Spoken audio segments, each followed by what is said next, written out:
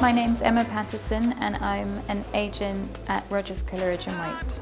I would recommend if you want to break into agenting as an intern um, that you spend quite a lot of time looking at individual agencies in the UK, um, looking at the kind of writers that they represent and have represented historically. Um, and all of that information should be really readily available on their websites.